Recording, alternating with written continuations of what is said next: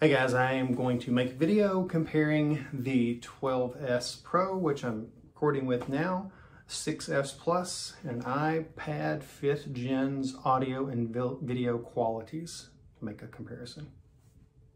Hope you enjoy the video.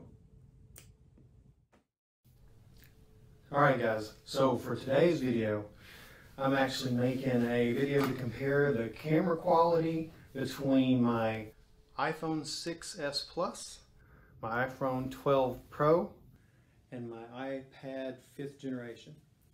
So on all of these, I set the um, video settings to 1080 with 30 frames per second. And this first shot is for the two iPhones, it's the back, it's the rear cameras, supposedly the better cameras. And we'll see how that looks and sounds in comparison. So I'm going to start to my left. So for the iPhone 6, this is the rear facing camera, the best one. And I have a directional mic, a small cheap mic that's plugged into the thing as well. And um, I use that for audio capture because if I don't, that iPhone 6 tended to have capture weird audio that would get loud, get quiet. You've heard this in all of my past videos. Hopefully going forward it won't sound that bad because I'm using the new iPhone 12 Pro for my future videos. Now the iPhone 12 Pro is using the rear cameras, which are the three cameras. I don't know if that has anything to do with recording video. If you do know, comment below. I'm not a techie when it comes to stuff like this. I'm pretty simple. I use the iPhone to record my videos and I use, uh, what's that program? I use Shotcut to cut them and it's free and it's simple to use. It's not super good, it crashes sometimes, but it gets the job done. And over here on my iPad, I'm also using no mic, just as the iPhone 12 Pro. But I have, uh, it's the front facing camera, so I can see a feedback of what it looks like on film. But their cameras are identical. The front camera and the rear camera, they're the same exact camera.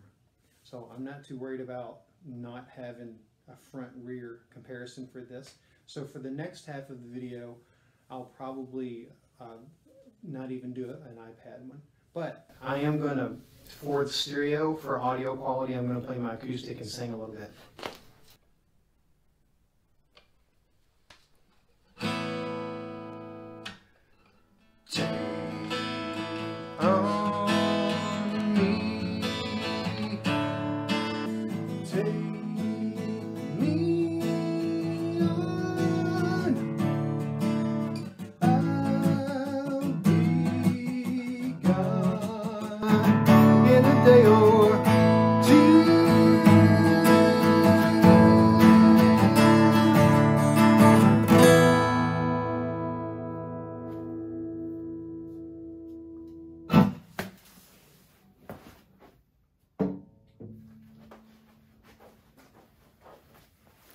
So that it, that's an audio recording and video recording of the rear face cameras on the two iPhones, 6, 12 Pro, and front facing camera on the iPad 5, 5th gen.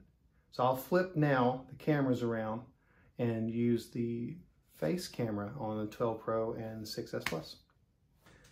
All right, so now I'm running the video from the front face camera on the 6S Plus and the 12 Pro and I will get a little bit of audio and sing a bar of one of my songs, or not my song, but one of the songs we cover in my band. The end on Sunday afternoon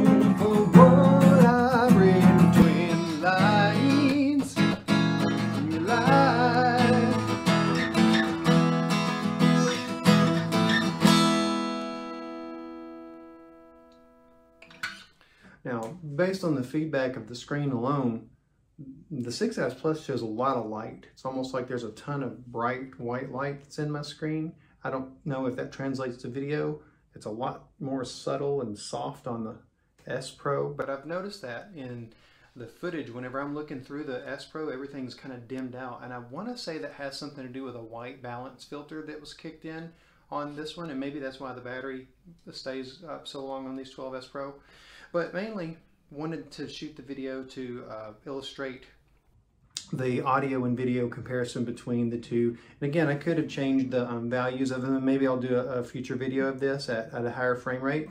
But it, I think that uh, 1080p at 30 frames per second seems to be the industry standard for recording iPhone video footage on YouTube at this point, at least up till now. Let me know otherwise and comment below. Um, like, share, subscribe. Hope you enjoyed it. See ya.